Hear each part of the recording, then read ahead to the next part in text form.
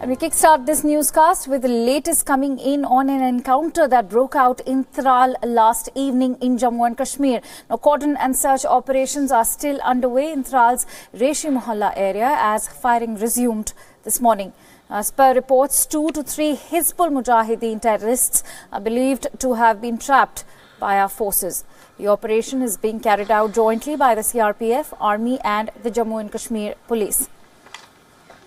To bring us more details on this news story, I'm joined in by our correspondent Ishan Wani, who joins us on the phone line. Ishan, what is the latest that you are picking on? I believe Tral is a sub-district of Pulwama, so clearly Pulwama remains on the boil. Well, yes, you're absolutely right. Uh, Pulwama has the highest number of militants in the Kashmir Valley, and that is where the main hot belt is particularly in the Tral belt where you have seen traditionally a lot of militants coming from.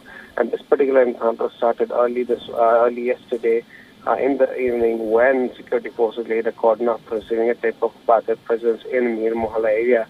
Although there was initially just a few uh, exchange of fire that took place between uh, the militants and the security forces. And soon after the brief exchange of gunfire, uh, the militants had managed to escape from the site. But the cordon was intact and was laid around that particular village so that no militant escaped, uh, taking advantage of dark conditions. And uh, in the morning, with the first light, the forces again started the searches in the area. And that is when uh, they were able to track down these militants.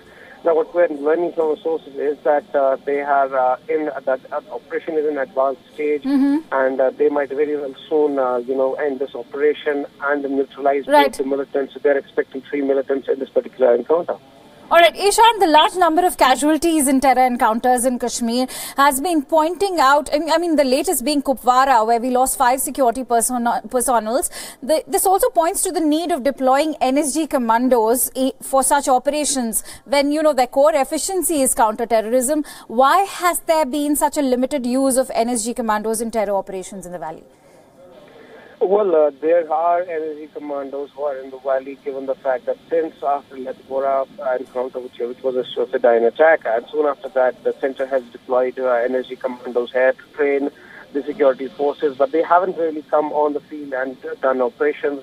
At the same time, since the Pulwama attack, the forces have been taking a lot of casualties, be it the Pulwama encounter, where these all uh, people who are behind the Pulwama terror attack were killed, or later on the beach in uh, Kulgam district, we saw that how five security force personnel were actually killed in a particular encounter. Right. But given the fact that both uh, army and army's para commandos who are essentially trained in this particular combat, including the Jammu Kashmir Police's Special Operation Group and CRPF has its own wing of commandos who deal with certain kind of operations. They also have such expertise.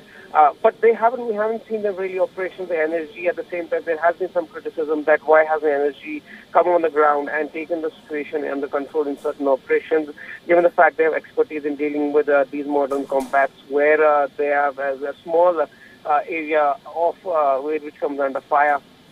But uh, really, it has been something which has been in the pipe but hasn't been executed on the ground, uh, given the fact that because army and the police are the main right. who are dealing with this operation, it may demoralize them in the Kashmir Valley from taking them back uh, from the counter-terror operation mm-hmm. to the security. So that is what uh, center may be fearing. But the NSG commanders are very much here. They're at the BSF Humhama camp, but they haven't been really deployed, although they have trained several uh, men in the past, but uh, we haven't seen them on in Absolutely, and maybe that is one option that the center can finally explore since the situation between India and Pakistan is only getting more tense by the day. Thank you so much, Ishan Wani, for bringing us all the latest.